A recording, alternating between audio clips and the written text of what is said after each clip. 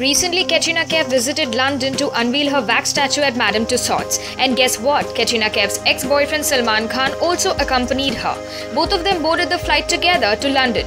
Seems Salman still has feelings for Katrina. Now Katrina's boyfriend Ranbir heard from his source and soon boarded the flight to London to follow them. The duo landed up into an argument where on the other side Salman Khan stayed quiet.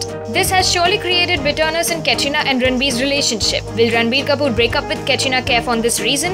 Okay, wait. Guys, finally it's time to listen to the truth. But we tell you that this is not something that happened and the entire story is false. It's just that we are fooling you on April's day and we hope we were successful in doing that. So let's take this in a good spirit, no intentions of hurting anyone. It's April's Fool's Day. We fooled you all and it's time for you to carry the chain ahead. Stay tuned to Business of Cinema for more updates. Hi everybody, I'm Shah Rukh Khan and watch me only on facebook.com slash business.